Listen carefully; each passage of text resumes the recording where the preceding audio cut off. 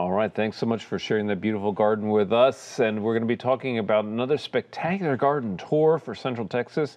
Uh, this is the Garden Conservancy tour. It's coming up on Saturday the 17th.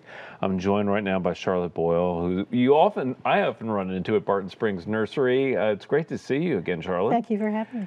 Uh, this is a spectacular tour this year. The Garden Conservancy always seems to bring out the creme de la creme of Austin gardening, and uh, people are going to experience a wide variety of spectacular settings, aren't they? They are indeed. Yeah.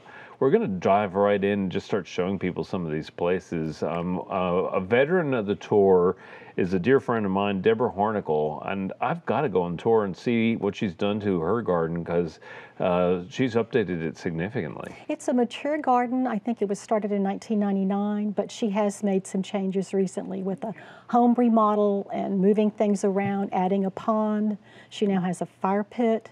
Mm-hmm. and interesting use of plants. It's it's really fun. It's really a formal space. Uh, lots of clipped boxwood, which I happen to be a big fan of.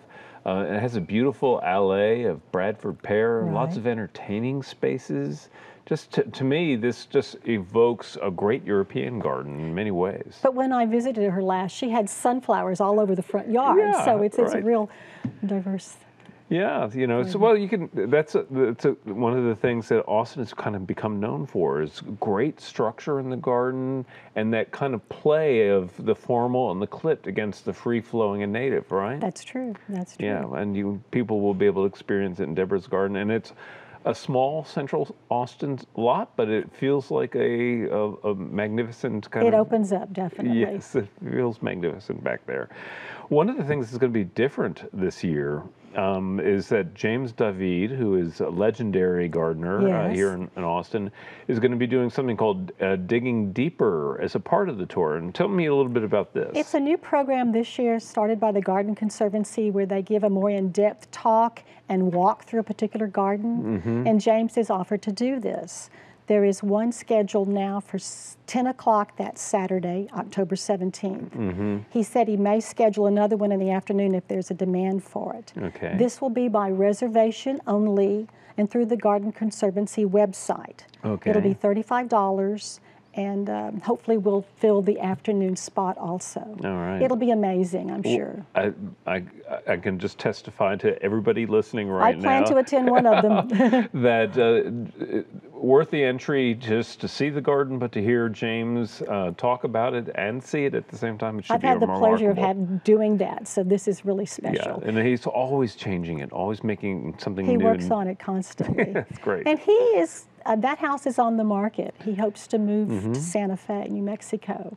So this may be the last opportunity for people to see it. So wow. I wow. encourage you to yeah, get on the website and, and make your reservation. There's another pair of Austin Gardens in the Enfield area that are genuinely spectacular. Um, one on Enfield itself and I just love the look of this garden. That is a very uh, interesting use of stone. Uh, it's for pathways and terracing, real xeric plantings, mm-hmm. low maintenance. Mm-hmm. Um, there's a stone wall that was built on the south side of the property that mimics a, gar- a wall on Enfield Road, just mm. across the way. Yeah. So it's kind of an interesting look. People should notice that when they visit it. Well, I love the terracing and I love the mix of plants at that garden. And then paired with that garden, there's one that faces onto Windsor.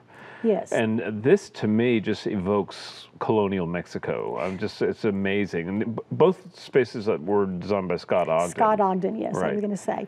The the one on Windsor is a large yard. The front is very shaded, so mm-hmm. you have mm-hmm. a real interesting mix of plants there. Um, most unusual, he grows bromeliads in, yeah. this, in this landscape. Mm-hmm. Um, the backyard is very sunny and on a steep slope, so you get all kinds of stonework and plantings there also amazing number of plants. Well, it's just Scott overwhelming. designed yes. it. He's a genius of plants, I know. Yeah, and then uh, textures and flow, it, it, all is going to be spectacular. Um, amazing experience, I'm sure. And you can just walk from one garden to the other. You can. You can. All right. Well, um, there's a another Central Austin garden on Bridle Path. This is uh, the Ten Eyck Garden. Christy's, yes. And uh, I love this space. I absolutely love it. I love the majestic giant agaves and the free flowing grasses and all the terracing. Yes, that is a total transformation. When she purchased that house, I think it was eight years ago, it had a circular drive and paved patio areas and a big lawn down to the street. She took all of that out and put in under the large oak trees that were there, perennials and understory things, plus a veggie garden. Mm-hmm. And she kind of pushes the limits because I see she has agaves in kind of pretty shady locations and they, they're looking good. Yeah. So, um, and something I've always heard you say, Tom, is if you buy a five gallon tree and a 30 gallon tree, plant them at the same time, in five years you won't know the difference. Well, this is a testament to that because she, I think it's a Texas persimmon. She bought one 30 gallon and two five gallon, and we looked at them. The five gallon are thriving, the 30 gallon is still struggling. There's another garden I want to talk about because I just love the look of this one, and it, and this is a problem-solving garden. It's an old Austin home. Um, and they've redesigned everything about it, the house as well as the, the grounds, because there was all sorts of drainage, drainage issues. issues. This is on Tower Drive, is that Tower correct? Drive, yes. Right, just remarkable. This is Patrick Kerwin. Mm-hmm. Um, he did a marvelous job. It's kind of a limited plant palette. It's not a huge garden, mm-hmm. but it's bold pieces and very striking. Mm-hmm. Um, um, he did some real interesting screening also in the back and on the side where they needed some privacy, putting up some kind of trellising and growing plants on it, plus some bamboo. So, yeah. uh, no, it's a nice, nice job. Yeah, it's. I think it's remarkable. Um, another space that uh, uh people I, have been dying to see. I've never seen it except in videos that we've done here on Central Texas Gardeners. Jeff Pavlat's garden. You need to see his garden. yes. It is amazing. Um, I requested that he he put his garden on this tour, yes.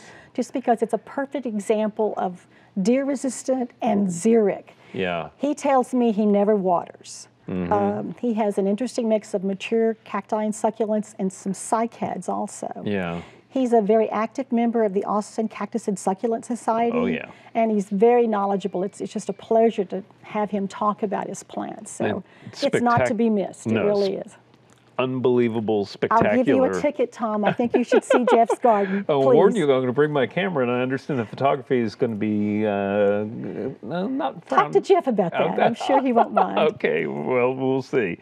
And on one other spot that's going to be on tour, and this is going to have a special guest set, is the Rollingwood City Hall, which has been completely redone on all the grounds. That's a public garden, so there'll be no charge for this. Mm-hmm. The Garden Conservancy likes to include public gardens that are near other gardens on this tour. Right. So um, this is designed by Scott Ogden and his wife Lauren Springer Ogden. Mm-hmm. Lauren will be on site to talk with visitors to that garden. Some of the folks in that neighborhood were, who were instrumental in getting it developed will also be there, I understand. So that'll be a real treat to talk with the, uh, the, right. uh, the designers. Well, and, and that's probably going to be a, a, possible at a couple of the gardens, I would think. That often the most of them will be there. I yeah, think. which is yes. always a great pleasure. And there's some extremely high level design talent. Lauren alone would be worth going out to hear. Yes. But uh, you yes. have a remarkable cast of, uh, of designers We're very and fortunate gardeners to here. have these on the tour this time. Yes, yes, and yes, indeed. So, uh, Lauren, I, I, is Scott going to be uh, around? Do you know? He will be at the Windsor and Enfield. I think he'll go back and forth Okay. because they're pretty very close together.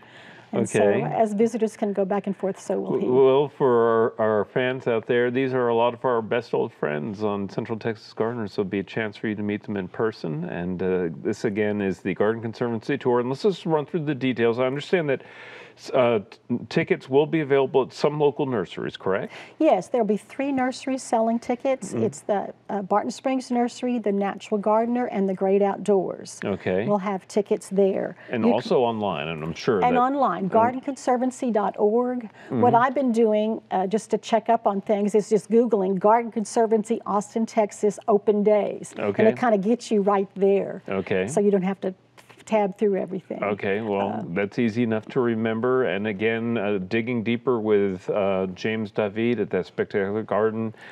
folks, this is a rare opportunity for you to get out there and have an extraordinary day in the garden. Well, it's been a real pleasure catching Thank up with you. you. Thank you so Thank much you, for being with us, Charlotte. Thank you for having me. You know, you, you've done a great job. Thank you so much for being here. And coming up next is our friend Daphne.